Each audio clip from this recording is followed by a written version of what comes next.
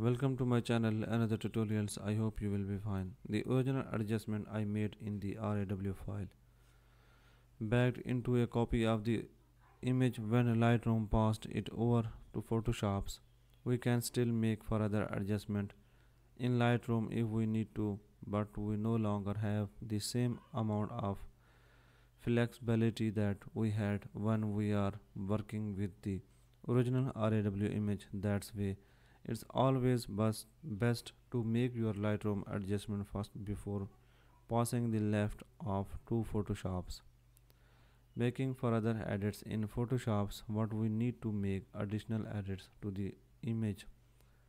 In Photoshop for example let's say I want to blend my text in with the image using a layer mask.